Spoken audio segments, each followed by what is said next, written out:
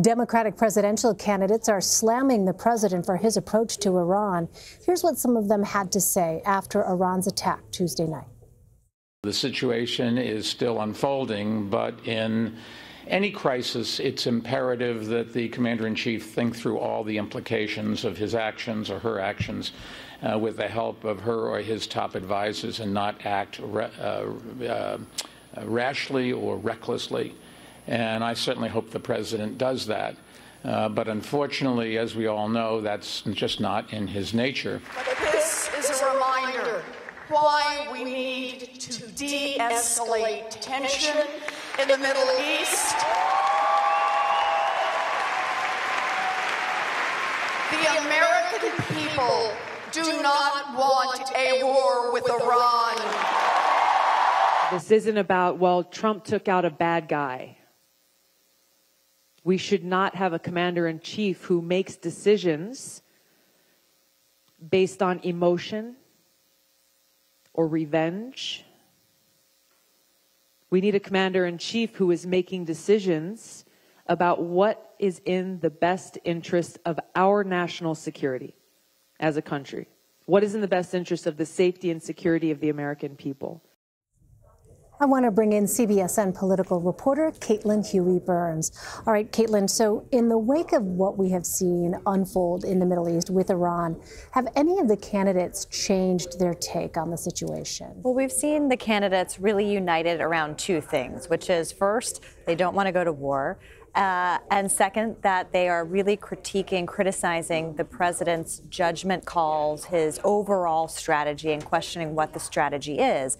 But you do see a little bit of a divide. Uh, last night, Joe Biden, for example, released a statement saying, as as news of the missile strike came, let's wait and see what the facts are. But here are my thoughts going to the troops. Um, you have seen. I was at Elizabeth Warren's event last night in Brooklyn. This was an event designed to really kind of help her regain some momentum in this race. A huge crowd, really excited for her, and she had to start it off by saying, "Look, this is a sober." Moment right now.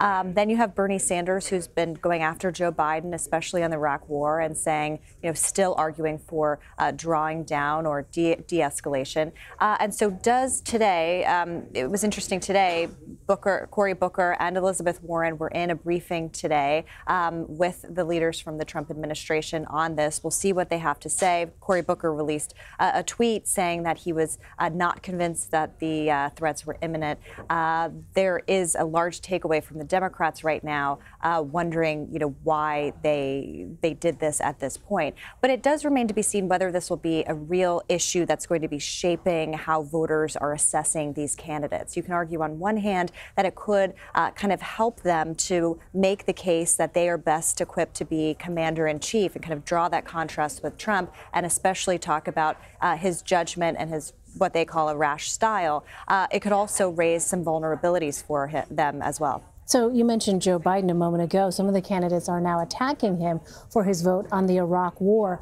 How is his campaign responding uh, to that, and could this really affect his campaign? Yeah, well, Joe Biden flew to New York yesterday to give a foreign policy speech, and he uh, made it so that it looked very presidential. He had flags in the background. Uh, there were reporters there, um, but it was, as you can see on your screen, uh, meant to look like he was in command. And this is something that uh, the campaign really wants to focus on on, uh, focusing on Joe Biden's experience, not only as a vice president under Obama, but also um, his work in the Senate chairing the Foreign Relations Committee. And that was an effort to show that he is the one that can kind of restore uh, some calm and control. Um, but there is going to be uh, this vulnerability for him in the Iraq war vote. He's the only candidate in this race who voted for it. He and Bernie Sanders were the only ones uh, in the Senate at that time, and Biden is the only one that voted for it. So this could be uh, a tricky position for him if voters still are holding uh, him to account on this and if it still is something that's weighing on their minds. Certainly it is among Bernie Sanders supporters. Let's turn to the Trump campaign. So that campaign has been touting Soleimani's death, and they've purchased ads on Facebook with that messaging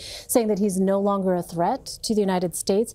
How are campaign officials trying to use this to their advantage? Oh, certainly. They've been trying to um, say exactly what you just said, but also try to point the finger back at Democrats Democrats and kind of go after them for not being um, on board with this. And it really remains to be seen what the fallout is. So if you're going off of today, um, it, it, appears, at least at this moment, that uh, that there might not be anything further, but there is this big question of, of who knows. So, on one hand, it could put Democrats in a bind going after uh, the president on this if things turn out to be relatively okay. Mm-hmm. Democrats, though, argue that this is something that the president created himself and uh, shouldn't get credit if if uh, things in fact do de-escalate. Yeah, I mean, how are Democrats sort of looking at this potentially uh, with the Trump campaign touting this? Do they appear to be concerned about the campaign's messaging yeah, this. I was talking to a Democratic strategist today who said that caution is kind of the best policy at this point. You don't want to get over your skis, really,